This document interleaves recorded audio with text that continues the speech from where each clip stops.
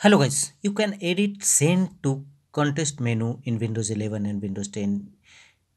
To edit context menu send to simply go to start button right click on it and choose run command box. Here type shell double dot send to and press enter. Here in file explorer send to windows will open as you can see if any file we will choose send to then context menu. There are six items in this menu and as well as six items. Same this um, um, context menu will appear here. Now we will first remove any context send to context menu. Fax recipient. Here we will see send to context menu. You can easily see fax recipient is also available. We will delete here. Simply right click on it and choose the option delete.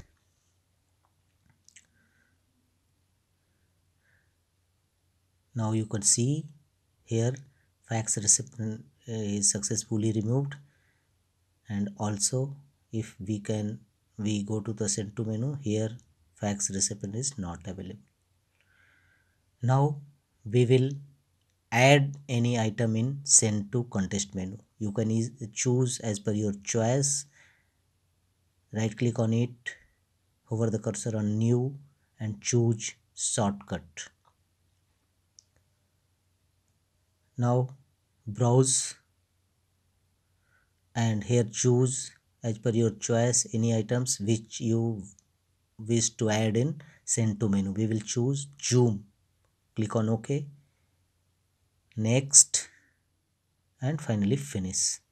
Now you, you can say zoom option is available in send to context menu.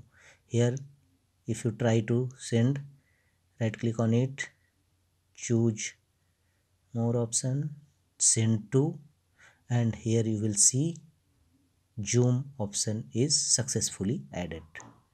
That's all